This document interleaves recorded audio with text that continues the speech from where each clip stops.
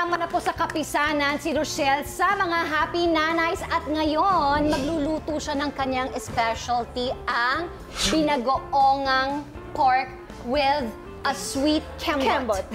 Okay. Yes, Go, na. Rochelle. Ang una, of course, mantika. Mm-mm. So, eh, syempre, habang inaantay natin na uminit yung kalan, Ah, eh, yung syempre. pan. So, ano naman yung mga adjustments? Marami. Um, like yung, yung oras, kunwari may kung may trabaho, kailangan unahin mo muna siya, paliguan. Kung pwede mo lang siyang bit-biti. Mm, ang cute. Ganun pa naman ka-cute pa yung itlog. Tapos CS ka eh, diba? Mm, so, na-miss mo, na-miss mong sumayaw at mag-exercise. Well, hindi mo na-miss mag-exercise kasi kahit buntis ka eh, nag-exercise ka eh, Nag-exercise diba? ako. Kasi allowed naman, nagpaalam naman ako sa doktor. Ilang months ka walang exercise? Meron ba? Mga five months. Five, o di inip six na months inip din. ka? Lalo na ako, magalaw akong tao. So, Oo. Buti na lang, nung time na buntis ako, nagtitaping pa rin ako ng unanay. Correct. Oo, so, unanay. Tapos nung after kong mga anak, um, bumalik agad ako ng workout ng six weeks yata. Nagla-light jog na ako, walking, ganyan. So, basta siguro basta depende yan sa katawan mo at depende yan sa doktor mo. Mm-mm. Ito si Chrissy, nagluluto din ng binagoongang baboy yan. Oo, talaga, Sa alam mo, taong kusina talaga ako. Talaga? As in, ang Baka saya-saya ko pag nasa kusina ako. Okay, basta alam ko masarap yung binagoongan mo din eh. Oo, na-miss ko yun. Ako kasi nagluluto rin ako. Oo. Sa pastime ko, pang-relax sa akin is luto. Ay, talaga? So, ano na nalagyan dyan? ko na Okay. ito ng siling panigang. Naku, ang anghang yan. I love spicy food. Oh my Oo, God. so yan ay option. Oh my gosh. Optional At naman. least may thrill. Oh my gosh. Are you really like that in person, in real life? Yes. Paano ka magsalita in real life? Paano? Ganito po. Ganyan. Paano wala magkakaiba? Oh, wala ba? May ano, may onting ano, Lalim.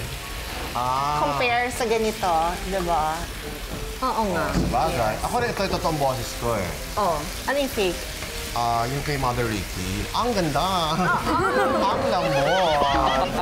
Oh, nagpasalon. Yung, ti- yung tingin mo sa akin, yung parang, oo nga, no?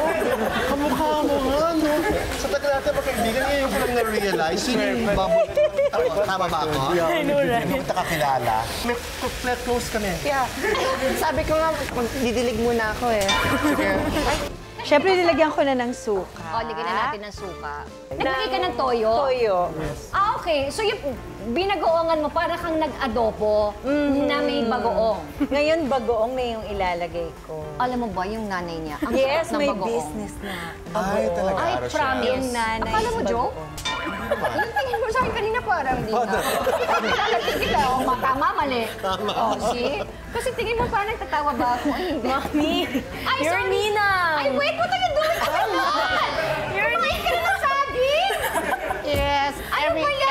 morning talaga, I super love magdilig. Watering the plants, I love. Really? Eh, yung pagkain ng saging, kinakain everyday din? Every day then, because it's good with, uh, it, ha- it ha, Ay! Hindi ko masabi. It has lycopene, ginseng, argan oil from Morocco. Andito lahat. Pati royal jelly. Okay, so what is happening now? Lutong-luto na yung ano, yung pork. Ngayon, ilalagay na natin ang chocolate. Chok! Chocolates, yes. Chocolate powder? Mm-mm. Adobo! Chocolate no, powder. that's not adobo. Binagoongan. Binagoongan yan. Ano ba gas? Ano kayong lasa niyan? Ay, ka- kakwento namin sa inyo. Okay,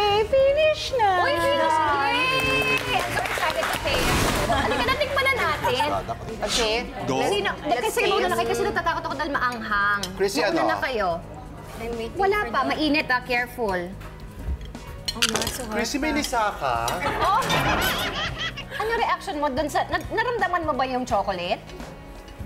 Grabe, ang sarap. Oh my God, ba't parang dilim? Sarap. May, ano eh, there's this peculiar taste. Pili ko yun yung chocolate.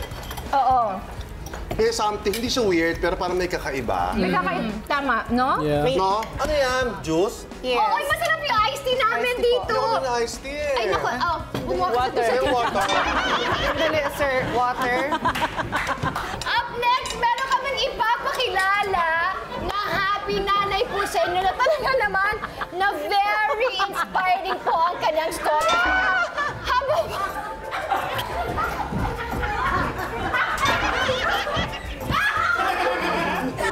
Mga kapuso, I'm River Cruz, your Clash Master for this season. Please subscribe to GMA Network's official channel.